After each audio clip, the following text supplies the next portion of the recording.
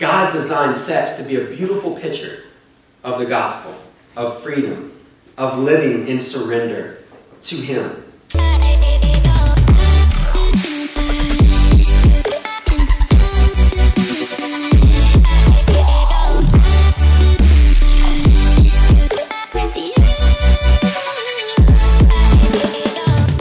So we've been talking about dating, and tonight we're going to talk about sex. All right. So you might be thinking, I've heard that marriage reflects Christ in the church, but the act of sex? Say what? So Ephesians chapter 5, verses 24 through 32. Now, as the church submits to Christ, so also wives should submit in everything to their husbands. Husbands, love your wives as Christ loved the church and gave himself up for her, that he might sanctify her, having cleansed her by the washing of water with the word, so that he might present the church to himself in splendor, without spot or wrinkle or any such thing, that she might be holy and without blemish. In the same way, husbands should love their wives as their own bodies. He who loves his wife loves himself. For no one ever hated his own flesh, but nourishes and cherishes it, just as Christ does the church, because we are members of his body. Therefore, a man shall leave his father and mother and hold fast to his wife, and the two shall become one flesh. This mystery is profound, and I'm saying that it refers to Christ and the church. So Paul's like, this mystery is profound. In other words, this is something I can't truly understand or explain, but it refers to Christ and the church.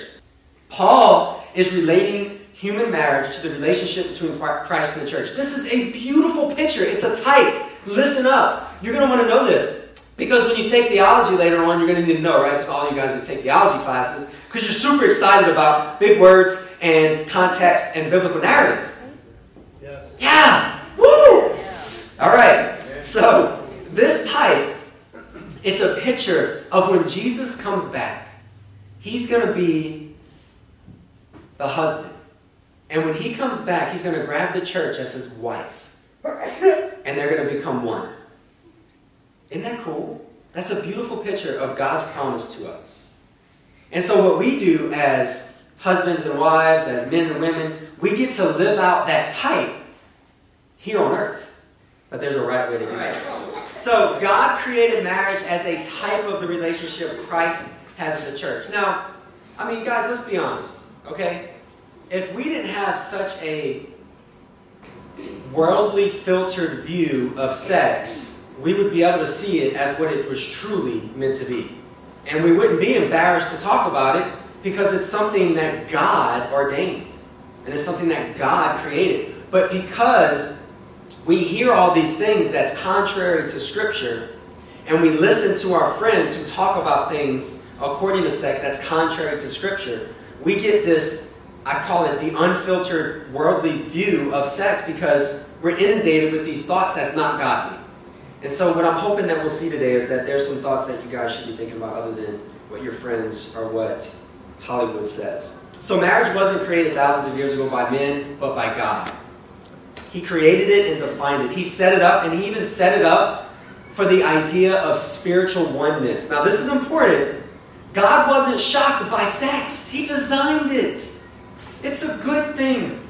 It's not something to run away from unless you're like Paul and you're all good for the rest of your life. You're like, hey, I'm staying, I'm staying abstinent and I'm serving the Lord. Go, Paul. I couldn't do that. I'm like, I'm going to find me a woman. You know, I just, that's who I am. I, I can't live life by myself. That's just not, you know, I, I, need, I needed a wife. And thank God for Nicole because she puts up with me. So, it's the idea of two people coming together as one in the flesh that was created by God. So this was to reflect Christ in the church. That's important. Remember that. Remember that. When you're married, you are associated with your with your spouse. So what that means is that your emotions are blended. What hurts one hurts the other. Now look, I'll be honest, if I come home and Nicole had a tough day and, and she's, you know, she's upset, I get upset just because we're one. We're husband and wife. And so I, I, want her to feel better. I want her to be happy. And so if that means, you know, going change five diapers and cleaning beds and taking baths and letting her go sit in the room and have some quiet time, then that's what I'm going to do. Because if my, I'd rather work and my wife be happy than me be lazy and her not be. Okay? And that should be the attitude of all of us, most definitely. So, what brings joy to one brings joy to the other. Now, same with the church. What brings joy to Christ should bring joy to the church. Okay? So, if we're finding joy in things outside of what Christ wants us to find joy in, then it's not necessarily what Christ has for us. So, married, married, married men and women, men and women come together as one. The girls said they put women on the right because they're always right. So, true, true. I'm facing the other way. Yeah. so this is a cool picture, guys. So when, when two, when a man and a woman come together as one in marriage, they become one. But when they have sex, they spiritually become one. It exemplifies the bond, an unbreakable bond, one that is not meant to be broken. Okay, so in ancient times, marriage wasn't quote unquote considered official by someone coming in and reading rites and whatnot. Marriage was considered official when two came together as one and had sex. That's just the way it was back then. And so it exemplifies that bond. It was official once they had sex.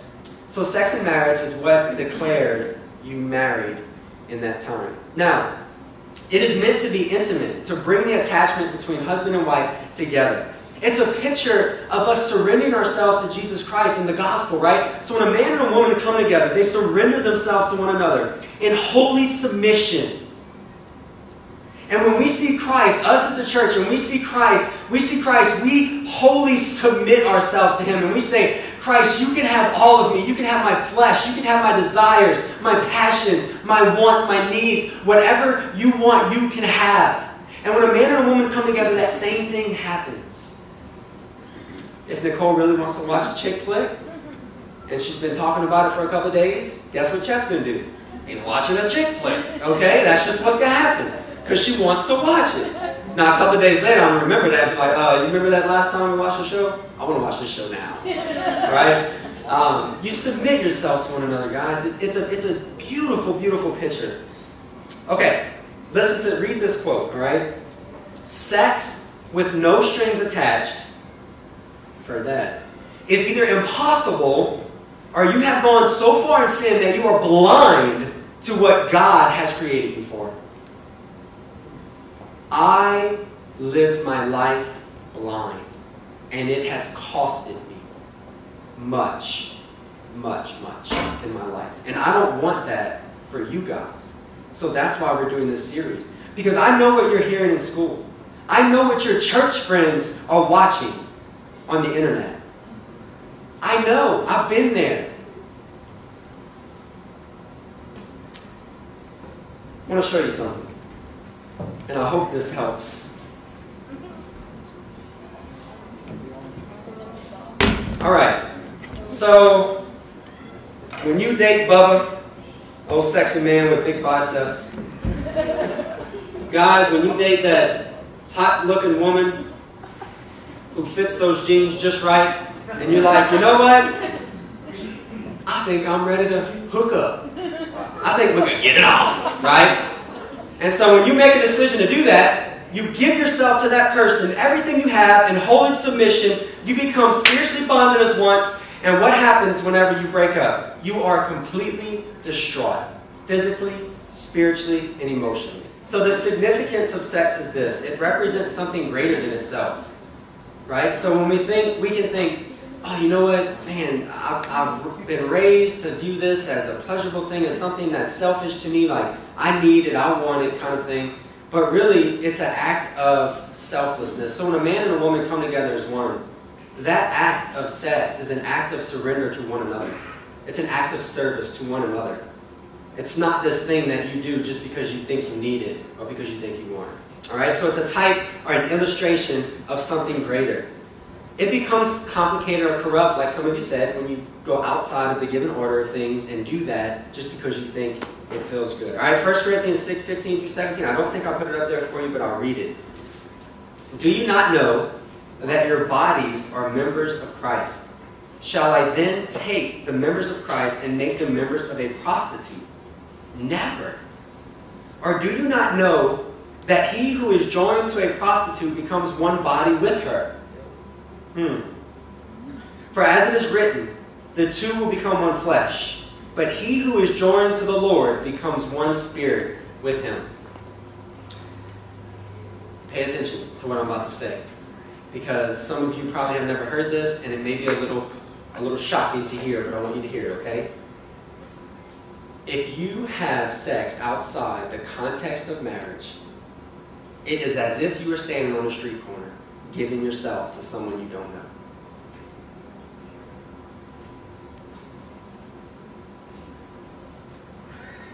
The reason why you don't sleep with someone who isn't your spouse is because you become one spirit with them. Let's recap. Number one, God created sex to be enjoyed between a husband and a wife. Look, you want to go to the best fireworks show? You hold off until that marriage, that marriage night. And it'll be like 4th of July eternally. You know what I'm saying? It'd be awesome. All right? So if you truly want to experience something really radical, like super radical, like blow your mind radical, and think about for the rest of your life, hold off a little while. Okay? Just being honest. Number two, don't use the freedom Jesus has given you as an excuse to sin. Don't use it. You have freedom, but if you abuse it, Jesus sees it. And consequences will be given. Why? Because God disciplines his children, because he wants what's best for us. Number three, there is forgiveness if you have messed up. There is forgiveness if you have messed up, guys. If you're sitting here today and you're saying, man, you know, I looked at that site earlier today. I just can't help it. This temptation comes over me. I don't know what to do. It's, it's, it enthralls me, and, and I just can't, I can't control it. Maybe you're sitting here today and thinking, man, you know, my brother or sister does some really dumb things at home, some really nasty things at home, and they've been showing me things, and I really don't know how to respond to this. Or maybe some of you are here today thinking, wow, you know, a couple of years ago I messed up. I really messed up, and I just don't know how I can reconcile with that. I don't know what steps to take. And some of you may be sitting here today thinking this is a joke and don't know what it's like to have an ever living relationship with Jesus Christ. Maybe you're here for the first time and you're thinking, wow, what does this relationship with Jesus Christ really look like? It's, guys, it's very simple. Romans chapter 10, verses 9 through 11 says, if you confess with your mouth that Jesus is Lord and believe in your heart that God raised him from the dead, you will be saved. Saved from what? Saved from hell. Saved, saved from torment in eternity. Because if you do not accept Jesus and Jesus comes back on that judgment day, when he comes back as the husband in the church, as his bride, and takes them in, you will not go to heaven. You will go to hell for eternity. But if you say right now, Jesus, I will give you my life, I will make you my Lord, I will wholly surrender myself to you in an act of submission, you will instantly be granted into the children of God and you will be declared a son or a daughter of the Most High. And you know what happens after that? God gives you His Holy Spirit as like a stamp of approval. Hey, that's my boy. Hey, that's my girl. And you cannot take that boy or girl from me. No one on this earth can take away the power and presence and peace and hope that the Holy Spirit can give you when you accept Jesus Christ as your personal Lord and Savior. God